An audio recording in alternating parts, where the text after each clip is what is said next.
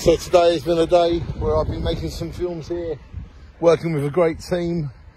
I can't tell anybody what it was about. Can't give no spoilers away.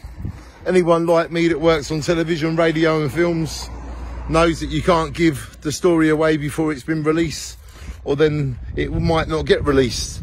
And I always said, oh, but I'm proud. I want to tell my friends and my fans what I've been doing today. And they say to me, no, Danny, because if you do that, then we might not be able to get the programme and we'll have to cut your part out. And that's happened to me before. I've done lots of filming like I've done today and all they do is cut you out because you told too many people about it. So the point of this video is you can't give any spoilers away because when you give spoilers away, you then give your part away. The part that you played in what you're telling people about is now been taken away from you because you gave a spoiler away. So listen, when you're doing well and before it's been aired on television, a bit of advice from someone that's been on television many, many times. Don't ever, ever give any spoilers away.